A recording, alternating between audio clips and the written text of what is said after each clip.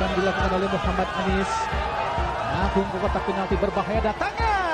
Dibuang tadi oleh Hansa Muyama Pranata. Tiga Yusuf Alhamwi di kotak penalti pendek saja. Surya langsung kotak penalti berbahaya datangnya. Shooting lagi. Nomor punggung kedua yaitu Muhammad Barokat langsung kotak penalti dipotong saja oleh penjaga gawang Satya Tama yang memang lapangan cukup licin masih Muhammad Anis nomor punggung 6 Ahmad Askar tadi berbahaya Barokat syuting upaya Askar untuk mencoba melakukan syuting memang tidak dapat ditutup ruangnya oleh para pemain kita. Ini sangat berbahaya Bung Adi, dan pemain muda mereka. Dan hasilnya mereka mampu lolos untuk uh, putaran final nanti di Januari 2018 di China. Mumin Najil, lima pemain Surya langsung kotak penalti berbahaya datang dan ke tiang dekat melihat goda yang dilakukan oleh Febri Haryadi. Oh yang jauh, langsung sudut tadi Rezaldi. Masih kita lihat Septian David Maulana, Oscar Febri Haryadi, angkat kotak penalti berbahaya. Yang sangat-sangat sempurna. Tandukan Osvaldo Hai masih berada di atas mistar penjaga gawang dari Syria. Dua kali Hai Masih Anis, Anis sendirian, syuting Anis, ditinggi saja oleh penjaga gawang Satya Tama, berbahaya handball nampaknya tadi. tutup ruang untuk uh, Muhammad Anes melakukan syuting uh, Bung Hadi.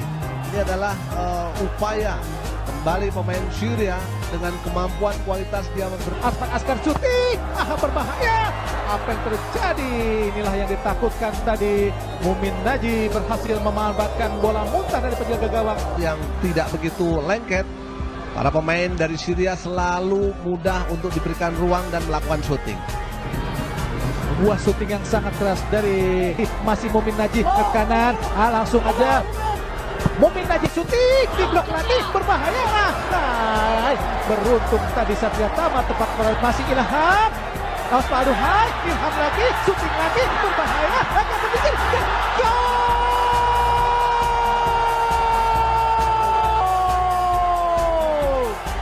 Balik dengan sangat cepat. Kita lihat permainan 1-2. Ilhamuddin dengan Osvaldo Hai dengan sebuah gol dari Septian David Maulana sehingga menyamakan kedudukan menjadikan 1-1. Asuriah yaitu Muhammad Yasin Al-Qurabi dan juga Jihad Busmar tadi sehingga menghasilkan gol balasan Indonesia yang diciptakan oleh Septian David Molan berbahaya Arnaud lagi kotak penalti dan apa yang terjadi? Ahai! Beruntung tepat pada posisi.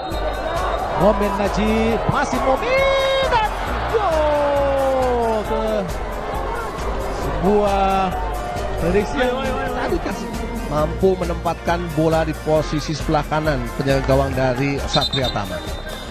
sebuah akurasi tendangan yang sangat-sangat akurat dari Mum Argianto bagus sekali Febri Haryadi masih Febri Osmano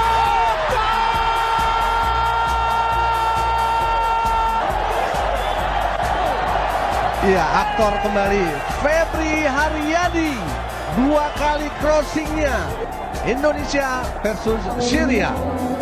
kalau sampai gagal lagi keterlaluan ibu Situasi sama.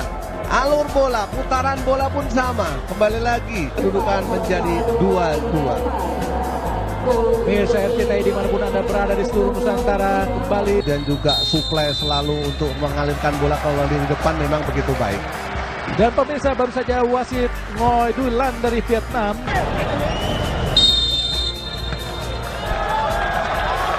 Ya baik pemirsa RCTI Surya. Sementara skor masih tetap imbang 2-2 Masih strong.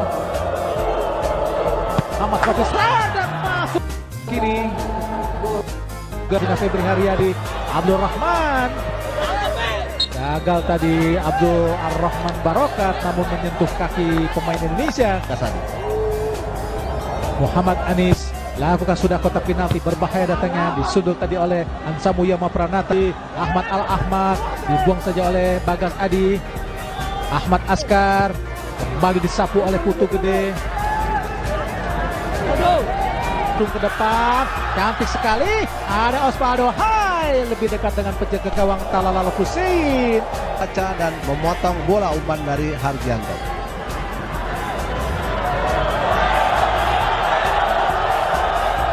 Meski dan serangan yang dilakukan para pemain Surya Bung Supri. Ya, beberapa kali memang benturan